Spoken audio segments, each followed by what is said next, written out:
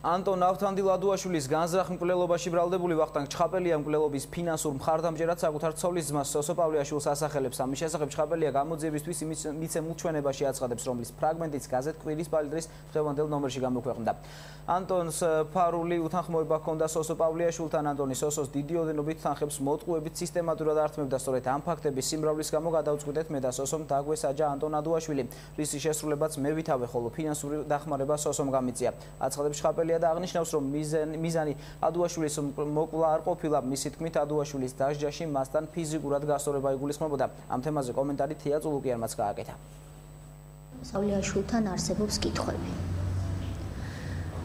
ადუაშვილის საქმე წასულია სასამართლოში მაგრამ ის ნაწილი რომელიც დაკავშირებულია სოსო პავლეაშვილთან მიმართებაში მიცემულ ჩვენებასთან ამას ამ საქმის ამ ნაწილში მიმდინარეობს ჯერ კიდევ ძიება.